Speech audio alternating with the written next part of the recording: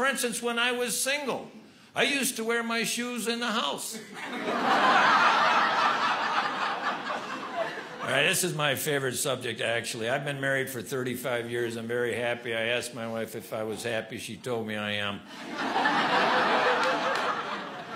That's good enough for me. But I got married. Our relationship changed immediately, not gradually, but immediately. My wife started to share knowledge with me, knowledge I had no idea she had before we got married. Tremendous amounts of knowledge she must have stored throughout the years, waiting to share with her future husband, not all at one time, just bits and pieces here and there on an ongoing basis. And at one time I thought it would end, now I know it never will.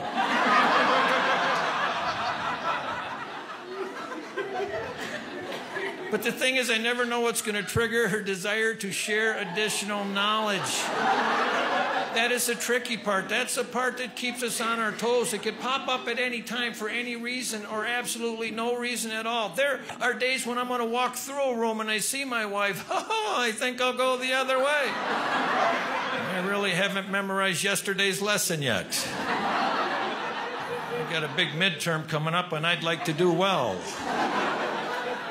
I never know what's going to trigger her desire to share additional knowledge. One day I just opened our back door. That's all I did. Simply opened the back door. Look at me, people. Just opened the back door. Perhaps slightly too long. I don't know what the exact time parameter is. I only know I must have went over because my wife whirled and yelled, shut the door. You just let 800 mosquitoes into the house. Now, I had no idea that mosquitoes fly in swarms of 800. I would think that many in a swarm, you'd see something come through the door. I saw nothing but my wife with her keen eyesight and wealth of knowledge knew that 800 got into our house. God bless her, we could have been bitten to death that night. I got married, I no longer need the Discovery Channel. I guess what I'm trying to say to you is that marriage can be good because you learn things that you never knew when you were single. Marriage can be good because you learn things that you never knew when you were single. And you know what? You see examples of that around us all the time. I'm in a cafeteria behind an elderly couple, husband reaching for whole milk, reaching for whole milk. Listen carefully. Reaching for whole milk. Mid reach, his wife states, You do not drink whole milk. He did not stop. He did not turn to reply, just veered off, went straight to the skim milk. Now, I watched this and I thought how lucky that man was to have found that woman.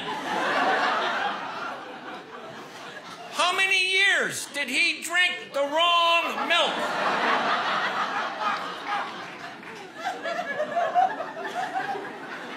You learn things when you get married that you never knew when you were single. For instance, now that I'm married, I realize that I never would have survived had I stayed single. If I hadn't gotten married when I did, I probably would have been dead in a matter of months. I mean that. When I was single, I was wild. I lived on the edge. You would not believe some of the things I used to do. For instance, when I was single, I used to wear my shoes in the house.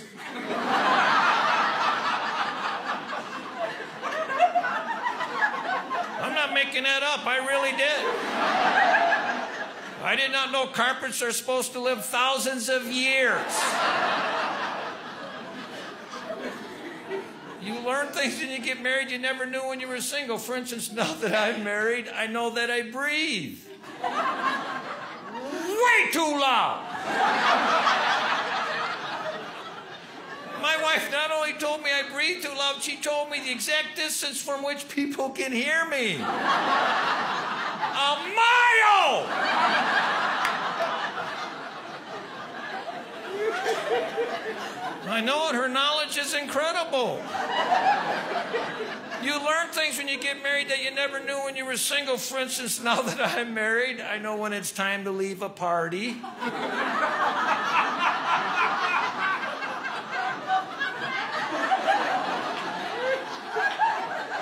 I never used to know.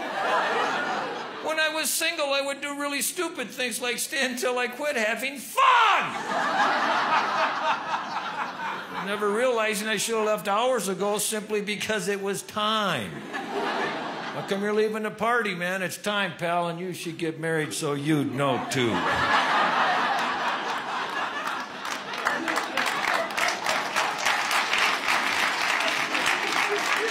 See, sometimes, sometimes when people start applauding, other people are like, no, we don't want to move our arms.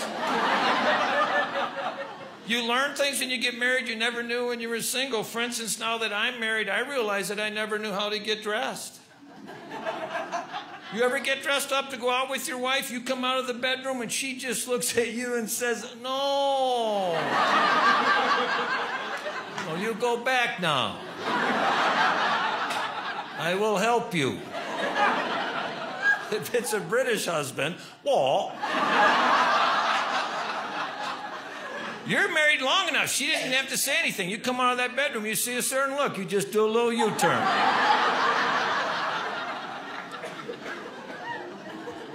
You learn things when you get married you never knew when you were single. You see it around us all the time. Today, in the hotel I'm staying at, very nice hotel, walking down the hallway behind what had to be a husband and wife.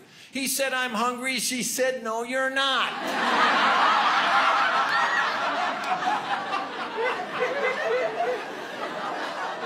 He walked by me, looked up at me as if to say, Guess I'm not hungry. I sure thought I was hungry.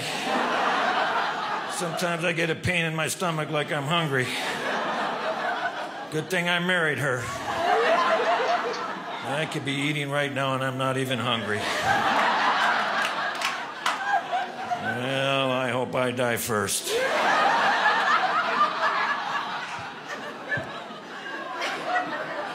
All right, I'm going to leave this one with you. The reason I saved this one for last, it's one of my favorites, also one of the more recent ones. You learn things when you get married you never knew when you were single. I told my wife I wanted some shirts to perform in. This is one of the shirts that she got me.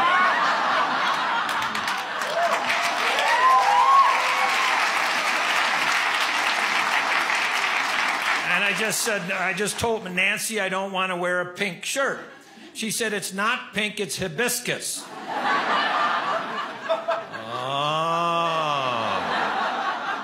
You know what? I think I missed school the day they covered that color.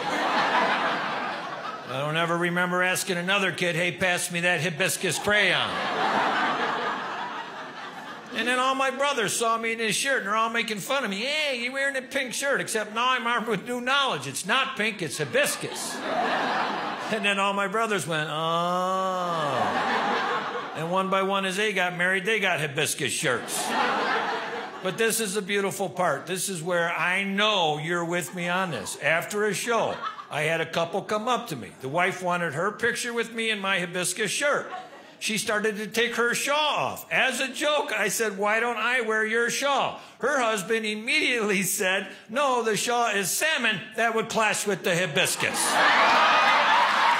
thanks a whole lot, everybody. Thank you.